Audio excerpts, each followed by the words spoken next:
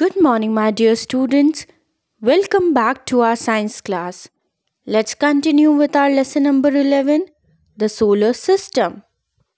And for today, our topic is an imaginary lines that is, an axis and the equator. What is an axis?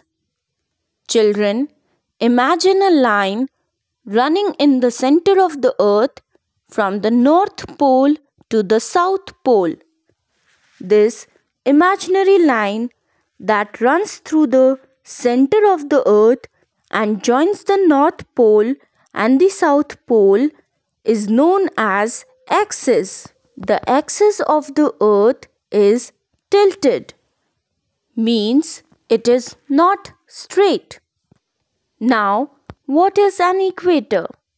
Children, again it is an imaginary line that runs around the earth and divides it into two equal halves that is, the northern hemisphere and the southern hemisphere. Children, do you know the equator is very hot? Why? Because sun's rays directly fall on this area. The sun's rays on the poles are less, thus making the poles cooler. That's all in this video. Thank you.